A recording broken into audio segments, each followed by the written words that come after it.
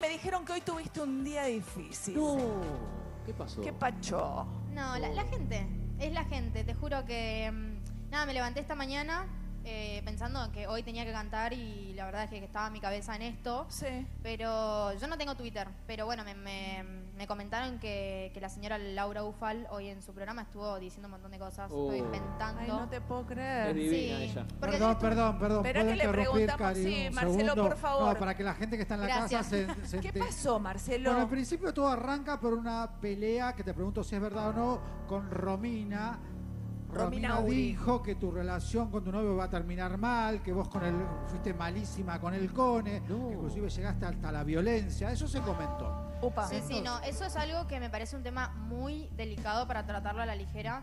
Me parece que, porque ella lo que, lo que le dijo a Gastón Treseguet, que es el conductor del programa en el que Sí, Romina sí. está, es como que yo le había pegado al conejo Sí, y, y a mi novio violenta, actual. que eras violenta. Sí, ¿Que era violenta? cosas- ¿Así lo dijo?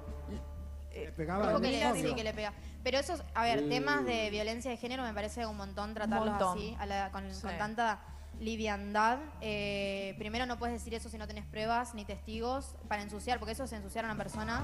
Eh, yo le deseo de verdad que pueda sanar todas las cosas que, que le pasan en la vida, como para estar diciendo ese tipo de cosas. Sí. Porque es más, ayer nos cruzamos y tuvimos la mejor Espera, onda. Coti, vos decís que no tenés Twitter, pero acá justamente pusieron A el ver. tweet. A ver, eh, léemelo, por favor, Polino. Si po- ¿Ves algo o no? no Romina. Uri pensaba que Romina no estaba al Uri- aire e hizo una fuerte acusación.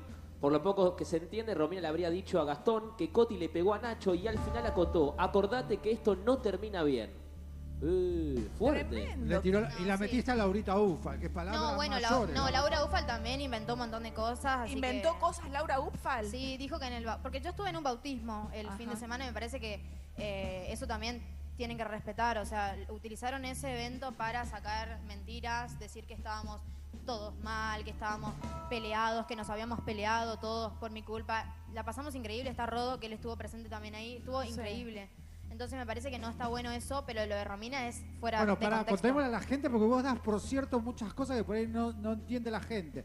Fue el bautismo en ¿De Luján? Sí. de los mellicitos de Pestañela, la Ay, compañerita de. GH. Sí. Entonces, bueno, Laura Ufal, yo la vi desde mi casa con Tim Ufal, estaba Alfa mostrando todo lo que pasaba y cuando llegó a vos, vos le diste vuelta a la cara y no quisiste darle la nota a la Ufal. la No, Uf- sí, no se lo merece Yo lo Ufal. vi. No, no, se lo, no le voy a ¿Pero dar ni por ni, ni le- ni- A ver, siempre la saludé, me ha rechazado el saludo, inclusive ella siendo una señora Pero mayor. pasó, pasó algo antes. Desde ¿Qué que salí- pasó? yo Sí, desde que sí. salí de Gran Hermano. Ah, esto- esto me ya pegó. viene Cuando ella cultivándose. estaba en Gran Hermano, Cari, le te Ah. cuento, la Ufal no la podía ni ver.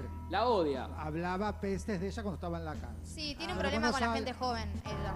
No, No, no, no digas no, eso de Laurita. no por- creo. lavate Mira, la boca, lavate la no, boca. la- la y bueno, lo siento, me tendré que lavar la boca, pero lo voy a decir. Tiene un problema con la gente linda y joven, porque seguramente ella no se sintió así nunca. A mí Lo me Pero, siento. hizo siempre. Coti, es muy fuerte lo que estás diciendo. Bueno, Tal eh, vez está no, si tiene leen otro todas las problema. cosas que Laura Ufal dice de mí, creo que esto va a ser realmente un rezo hacia ella.